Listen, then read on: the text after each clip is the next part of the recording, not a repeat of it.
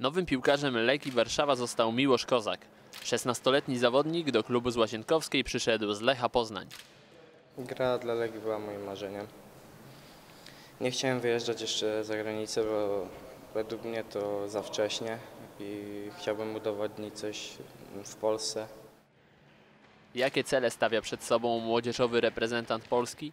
Chciałbym z rezerwami y, awansować do drugiej ligi no jak najwcześniej być w pierwszym zespole Legii. Przed rokiem tą samą drogą do Legii Warszawa trafił Bartosz Bereszyński. Czy Miłosz Kozak rozmawiał z nim przed podjęciem decyzji?